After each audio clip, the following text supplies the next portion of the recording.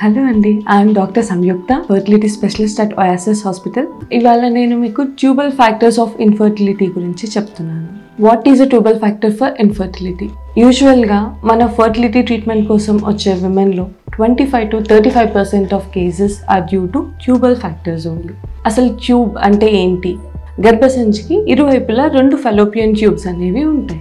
ఆ ట్యూబ్ పని ఏంటి? నార్మల్గా ట్యూబ్ ఏం పని చేస్తుంది సో ప్రతి నెల అండాశయంలో నుంచి విడుదలయ్యే గుడ్డుని ఈ ట్యూబ్ ఒక చివరి భాగము అనగా ఫింబ్రియే అంటాము. అది ఏం చేస్తుంది? అండాశయం నుంచి గుడ్డుని సక్ చేసుకుంటుంది. సక్ చేసుకుని ట్యూబ్లోకి తీసుకుంటుంది. సో ఎప్పుడైతే భార్యాభర్త కలిసిన తర్వాత వీర్యకణాలు ఏవైతే ఉంటాయో అవి గర్భసంచి ద్వారా ఫాలోపియన్ ట్యూబ్లోకి వస్తాయి. సో ఆల్రెడీ ట్యూబ్లో వచ్చి ఉన్న గుడ్డుతో ఆ కణాలు అన్నవి కలిసి పిండం అన్నది ట్యూబ్లోనే ఏర్పడుతుంది ఆ పిండం ఆ ట్యూబ్లోనే మూడు నుంచి నాలుగు రోజులు పెరగడం అన్నది జరుగుతుంది. మూడు నాలుగు రోజులు పెరిగిన తర్వాత ఆ ట్యూబ్లో ఉన్న నార్మల్ మెకానిజం ద్వారా ఆ ట్యూబ్ మొటిలిటీ పెరిస్టాల్సిస్ అని అంటాం. ఆ ట్యూబ్ మొటిలిటీ ద్వారా అది ట్యూబ్ యొక్క చివరి భాగం నుంచి ఇలా మూమెంట్తో వస్తూ గర్భసంచి లోపలికి ఎంటర్ అవుతుంది. గర్భసంచి గోడలకు అంటుకొని మనకు ప్రెగ్నెన్సీ అన్నది ఇస్తుంది. సో ఇది ఒక నార్మల్ ట్యూబ్ ఫంక్షన్. మనం నార్మల్గా కన్సీవ్ అవ్వడానికి ఈ ట్యూబ్ అన్నది ట్యూబ్ ఫంక్షన్ అన్నది చాలా అవసరం.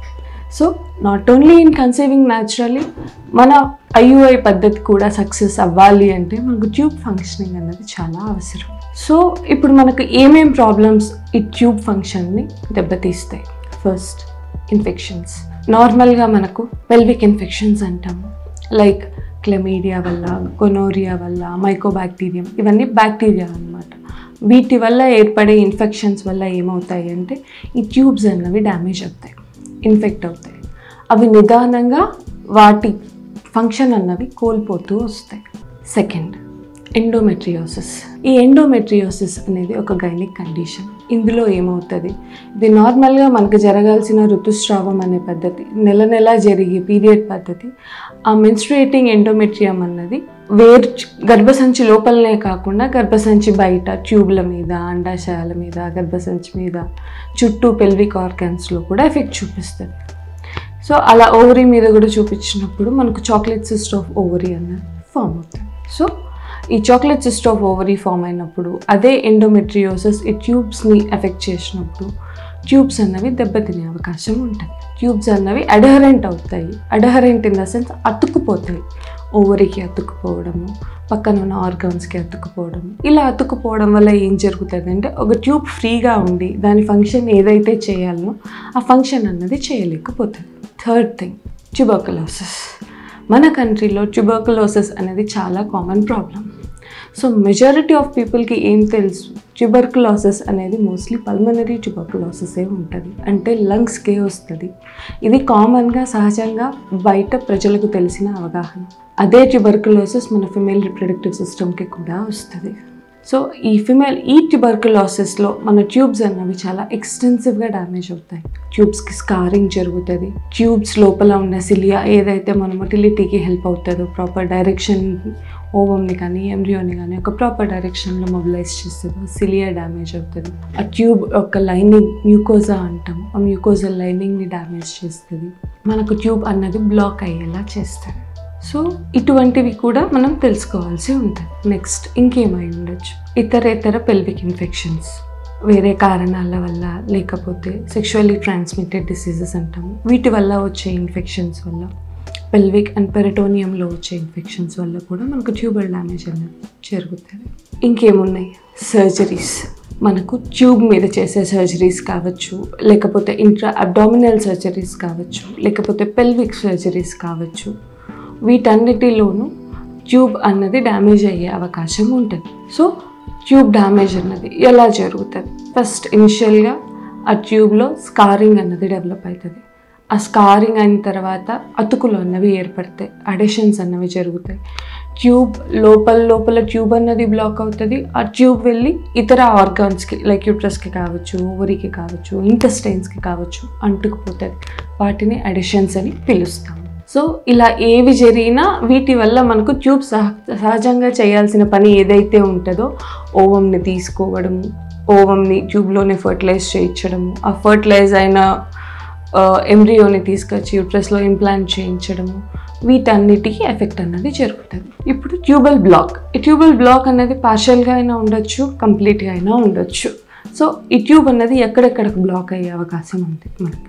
ట్యూబ్ ఏ పార్ట్ అయితే ఉందో ట్యూబ్ పార్ట్ యూట్రస్కి దగ్గరగా ఉన్న ట్యూబల్ బ్లాక్ కనుక జరిగితే దాన్ని ప్రాక్సిమల్ బ్లాక్ అని పిలుస్తాం ఒకవేళ ట్యూబ్ యొక్క మధ్య భాగంలో జరిగితే దాన్ని మిడిల్ ట్యూబల్ బ్లాక్ అంటాం. అదే ట్యూబ్ యొక్క చివరి భాగము దూరం యూట్రస్కి దూరంగా ఉన్న భాగంలో జరిగితే దాన్ని డిజిటల్ ట్యూబల్ బ్లాక్ అంటాం.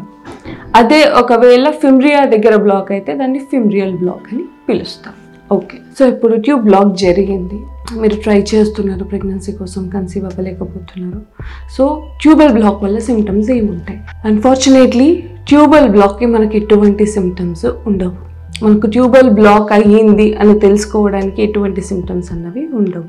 We only get it to know ఎప్పుడైతే మనం ట్రీట్మెంట్ కోసం ఫర్టిలిటీ సెంటర్కి వెళ్తామో అక్కడ ఫర్దర్గా మన ఎవాల్యుయేషన్ అన్నది జరుగుతుందో అక్కడ we can get to know that some of the factors are affecting our tube వీటి వల్ల మనకు ట్యూబల్ బ్లాకేజ్ ఉంది అన్నది తెలుస్తుంది.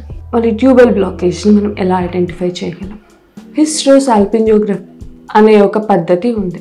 దీన్ని వాడుక భాషలో ట్యూబ్ టెస్ట్ అని కానీ హెచ్ఎస్జి అని కానీ పిలుస్తారు. ఇది నార్మల్ ఓపీడీ పద్ధతి.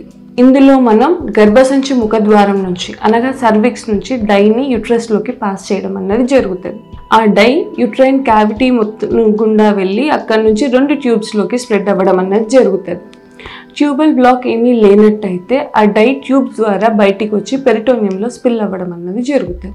ఒకవేళ మనకు ఎక్కడైనా ట్యూబల్ బ్లాక్ కనుక ఉన్నట్టయితే ఆ ట్యూబ్ అన్నది ఆ డై అన్నది మనకు పెరిటోనియంలో కనిపించదు. డై స్పిల్ అన్నది తెలియదు. ట్యూబ్ బ్లాక్ ఎక్కడ ఉందో అక్కడి వరకు మాత్రమే డై ఫ్లో మనకి తెలుస్తుంది. బట్ ఇది మనకు ఖచ్చితంగా not a sensitive test. This is to some extent it is a diagnostic test. Tubal block లేదు అన్నది it is confirmatory in HSG అదే అలా కాకుండా ట్యూబల్ బ్లాక్ ఉంది అంటే it is not hundred percent sensitive to diagnose that it is a tubal block. So మరి sensitive test ఏంటి?